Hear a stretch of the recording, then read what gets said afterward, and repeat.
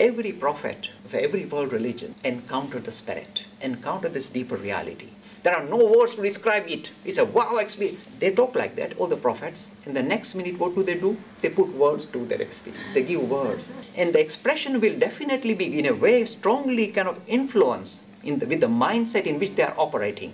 So the geographic, the cultural background they have will automatically kick in because they are in love with humanity. They will use every tool at their mercy to press, push this idea of spirit into the society. So the same experience produces variety of different religions or variety of movements within the same religion. You see a variation appearing. The variation is not because they are deliberate or they are trying to counter somebody else. They are just giving the best, whatever tools they have, they will use them to give expression to their experience, to push it, push it into society. That is the origin of all world religions, all the mystical traditions. It is founded in experience. This is the powerhouse. This is the fountainhead of all religions and all spiritual ideas of spirituality.